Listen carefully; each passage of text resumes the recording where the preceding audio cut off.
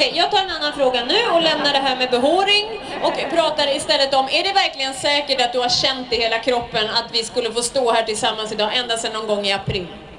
Ja, det är det faktiskt. Visst, man har haft stunder då vi har haft lite motgångar, men vi har hela tiden eh, haft sån härlig känsla i gruppen och vad ska jag säga, laget har... Eh, ja, vi bestämde oss helt enkelt och det har liksom på något vis genomsyrat hela säsongen. Att vi, vi har eh, hela tiden sett det här framför oss och det är ju...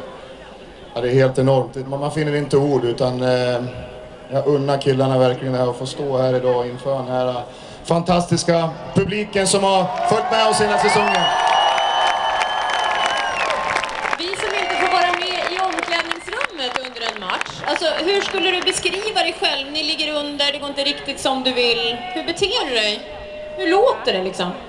Ja, det, det är så svårt att stå här och förklara. Det är alldeles, beror alldeles på hur, hur matchen har sett ut och ibland är det lugnt och ibland är det mindre lugnt och, och, och så. så att, men det, det är oftast ganska lugnt, det, det, det tycker jag. Är du sträng? Nej, det, det får andra svara på. Okej, det där är ett typiskt tränarsvar. Politiker de har sina svar och det där är ett typiskt tränarsvar. Vad, vad blir ditt starka